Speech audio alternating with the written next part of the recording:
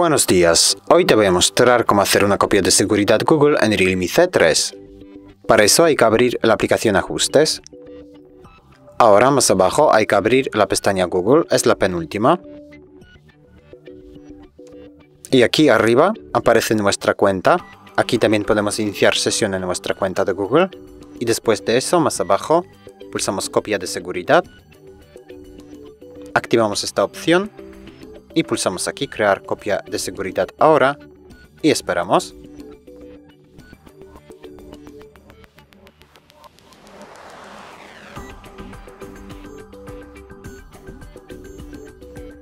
Y la copia de tus datos ya está hecha y lo puedes ver aquí.